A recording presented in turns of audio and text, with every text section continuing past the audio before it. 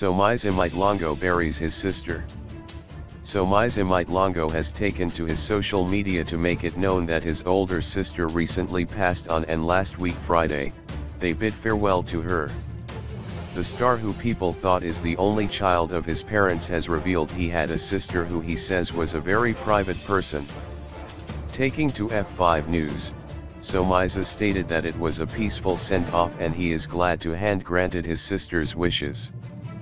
Last week Friday we bid farewell to my mom's firstborn, my sister. She was a very private person and her wish was that her send-off should be just that.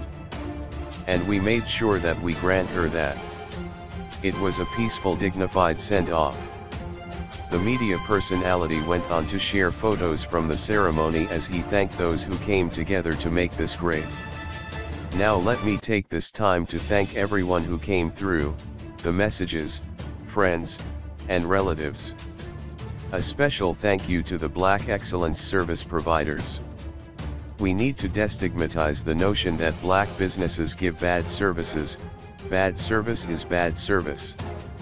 Good service is good service regardless of race.